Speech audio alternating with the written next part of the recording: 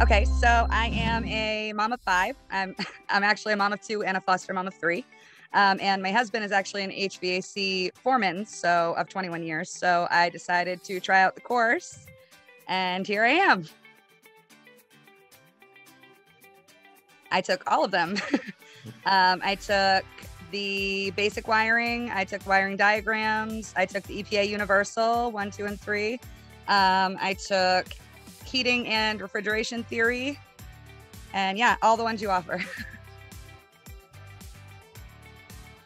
I love them. I love the way that they're set up. The modules are super easy to follow. My husband was saying there was way more information in this course than there even was in the one he paid for and went to. So that was really great. And I just, I love that anybody can follow it, literally anyone. I love them. They were so easy. The simulations for the wiring courses were incredible. It's so much easier to learn that way. Um, I think that was the closest to hands on training you can really get for that, and the how to use a multimeter course as well. I loved the diagrams in that as well. Yes, much faster. So, to be a service tech, you have to have um, at least your EPA Type 2. Um, so, I would not have landed this job without SkillCat. I would not have.